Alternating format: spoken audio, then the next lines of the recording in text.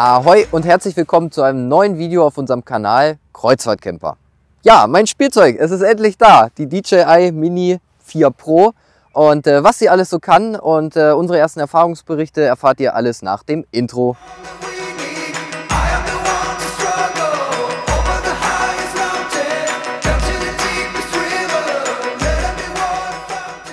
Bevor wir dazu kommen, warum wir uns überhaupt für die DJI Mini 4 Pro entschieden haben, würde ich sagen, machen wir als erstes erstmal das Unboxing. Das ist auch recht unspektakulär. Ja, ich hatte sie natürlich schon mal auf, weil ich habe sie ja auch schon ausprobiert und registriert und so weiter und so fort. Es ist im Prinzip einfach, wir haben uns für das Combo-Paket entschieden. Da habt ihr dann das Thema, dass ihr eine Packung dazu bekommt, also eine Tasche dazu bekommt. Und in dieser Tasche habt ihr drei Akkus. Das gucken wir uns jetzt gleich einmal an. Ich würde sagen, ich hänge mir die einfach mal um. Und dann machen wir die mal auf. Die Tasche gehört halt dazu. Ihr habt äh, eine Fernbedienung gleich mit Display. Also das heißt, ihr habt da keine Probleme, dass ihr euch mit dem Handy wieder abmühen müsst oder sowas. Ihr habt äh, den äh, Lade, die Ladestation. Hat den Vorteil, äh, lädt der Akku etwas schneller. Ihr habt drei Akkus dazu. Die drei Akkus äh, kann man dort sozusagen gleichzeitig laden, aber sie laden natürlich einzeln nach dem anderen. Und natürlich habt ihr die DJI Mini 4 Pro, das ist natürlich auch klar. Sie kommt in sehr kompakten Format. Falls ihr euch für das äh, Kombo-Paket nicht entscheiden solltet, auch kein Problem. Äh, man kann die natürlich auch so ganz gut in den Rucksack reinpacken, denn das ist auch ein Vorteil dieser Drohne natürlich. Ja, ich würde sagen, schauen wir uns das Ganze mal an, warum wir uns für die DJI überhaupt entschieden haben.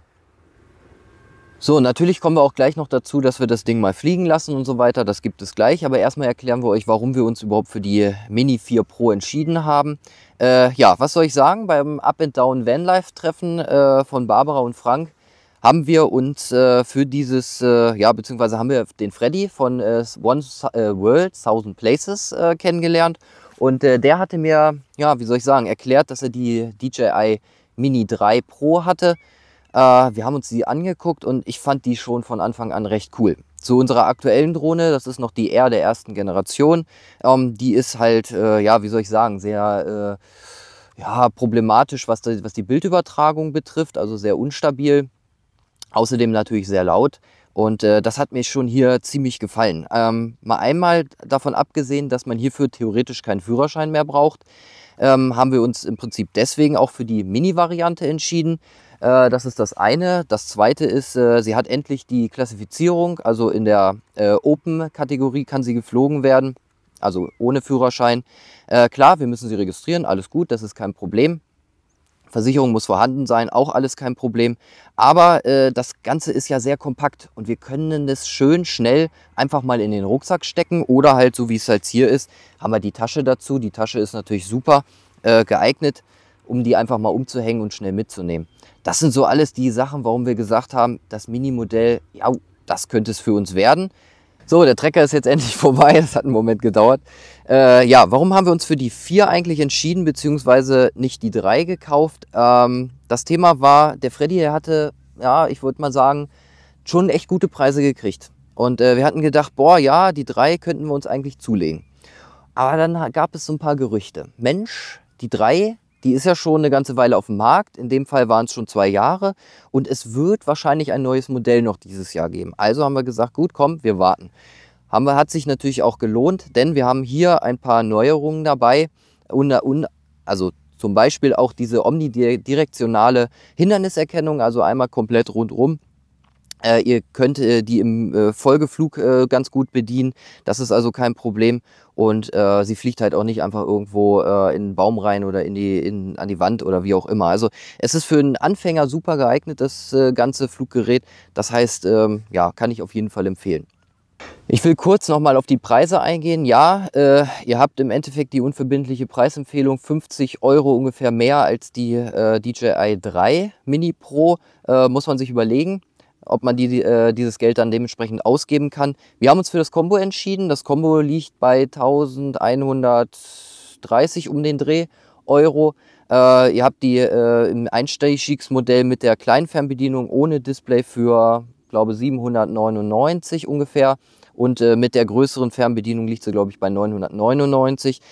Ich kann euch empfehlen, nehmt ruhig die bessere Fernbedienung, denn ihr habt dann nicht mehr das Problem, dass ihr mit diesem Handy rumeiern müsst. Das geht einem doch irgendwann ganz schön auf den Geist und es dauert auch einfach, äh, bis man äh, am Fliegen ist. Also es ist halt einfach einfacher, es ist dabei und gut ist die Kiste. Ja, schauen wir uns das Ganze mal an, wie sie eigentlich fliegt und äh, was wir da so sehen. So, das Auspacken und Beflug, äh, flugbereit machen ist relativ einfach. Die Hebel hier, die sind schraubbar und die sind hier hinten eingeklickst. Also das heißt, dafür hat man auch gesorgt. Äh, die, äh, diese Antennen werden einfach nur weggeklappt und dann ist das Thema erledigt. Ja, zum äh, Fluggerät selber. Ihr habt äh, einmal die, ähm, die, diesen Schutz für die Flügel, damit die im Prinzip nicht um, äh, also kaputt gehen. Dann habt ihr noch die, den Schutz für den Gimbal. Den nimmt man ab und dann kann man das Ganze auch schon hier ausklappen. Also relativ einfach, zack, zack. Und äh, ja, dann haben wir das Thema schon. Und schon ist das Ganze schon flugbereit und wir können es einschalten. Ja, was wir natürlich hier jetzt nicht mehr haben, ist die Kalibrierung. Äh, ich habe das bei der R immer gehabt, dass ich vor Flug einmal kalibrieren muss, also das Fluggerät drehen muss, dass das ähm, ja, den, den Norden und so weiter gut erkennen kann. Das habe ich bei meinen ersten Flügen hier noch nicht gehabt. Wir hören uns das jetzt ganz einfach mal an, denn sie ist doch relativ leise und ich bin da ziemlich äh, glücklich drüber, dass sie auch sehr leise ist. Ich lasse jetzt mal starten. Ja, und eigentlich kann man schon sagen, wie man hört, man hört fast gar nichts, bis auf den Controller, weil ich jetzt halt als Hindernis erkannt wurde. Wenn ich dann steige, ist das Ganze natürlich weg. Und vom Lärm her ist das relativ gering. Also natürlich hat man kleine, kleine äh, Geräusche dabei, das ist denke ich ja normal. Ja, und ich würde mal sagen, schaut euch einfach mal die Farben an. Vom Bild jetzt. Ich schalte das jetzt mal ein und schwenkt da einfach mal rum. Sie fährt, fliegt sehr, sehr sanft. Also man kann sie auch gut kontrollieren und schöne Aufnahmen dadurch äh, generieren und hinbekommen.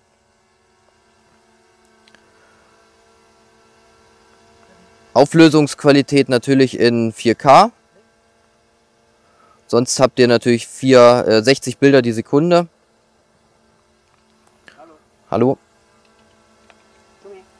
Dann werde ich einfach mal ein Foto machen. Das ist jetzt gegen die Sonne. Natürlich habt ihr jetzt hier gegen die Sonne ganz andere äh, Qualitäten, als wenn es entgegengesetzt ist. Dann drehen wir nochmal zur anderen Seite.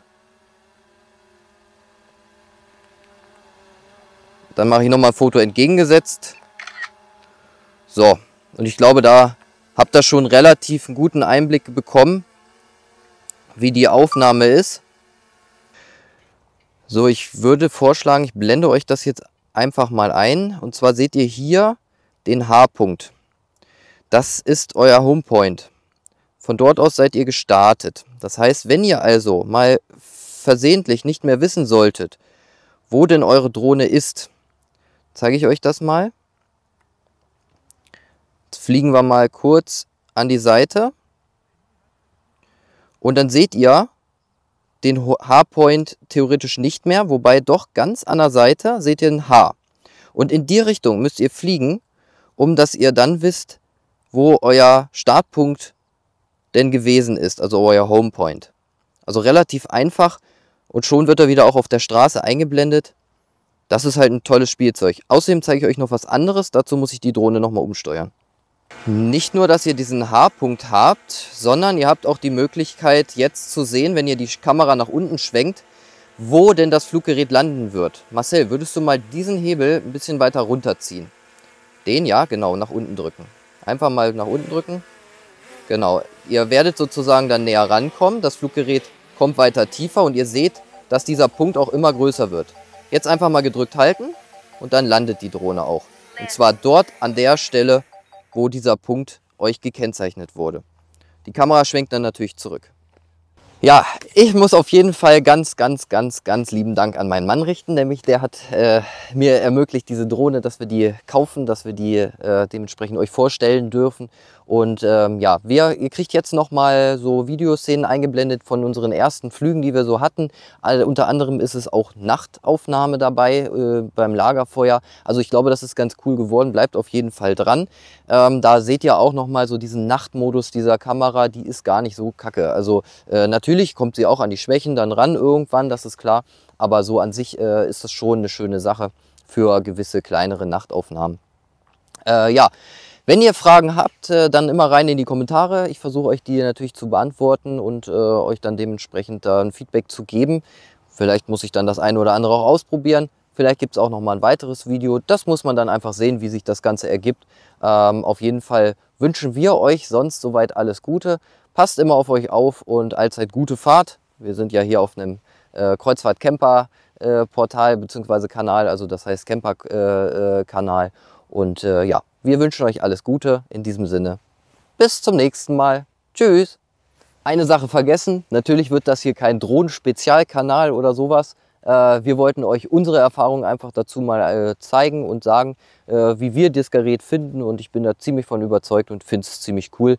Also für den Einsteigermarkt und auch überhaupt als Zweitdrohne super tolles Gerät. Lohnt sich auf jeden Fall zu kaufen.